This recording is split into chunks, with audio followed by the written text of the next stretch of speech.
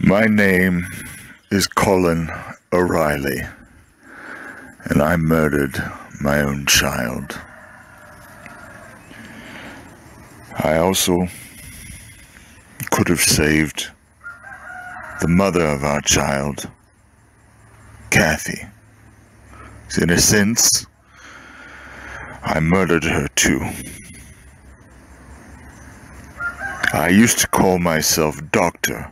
Colin O'Reilly, but I've realized that I don't deserve to be called Doctor.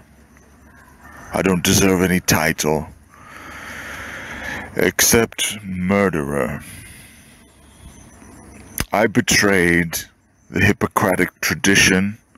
My institution was founded by a eugenicist, meaning that founder of my organization, Starry Mopes, taught and believed that certain races, including Africans, are subhuman. I told myself that I didn't really believe this, but I believed it. And I promoted the lie, and yes, it's a lie, of safe abortion. In reality, there is no safe abortion. The original Hippocratic Oath said, I will not give a woman a pessary to induce an abortion, and I will do no harm. I have personally broken that oath, and my organization systematically violates that oath while claiming to represent medicine.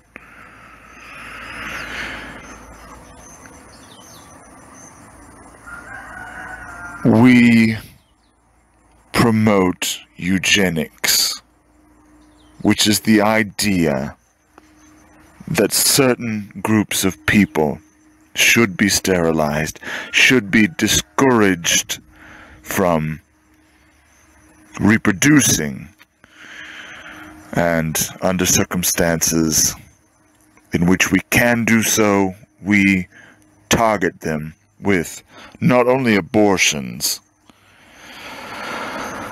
but also hormonal contraceptives which sterilize women, injections, coils, pills which cause permanent sterility, and yes, in some cases, poisoned vaccines.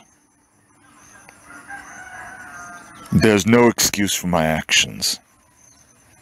Our people are becoming old. We don't have enough children. We need the resources of Africa, and your children are in our way. I believed that you were subhuman, but I was wrong. I'm the one who's subhuman. You are the humans. I'm the one who doesn't deserve to live.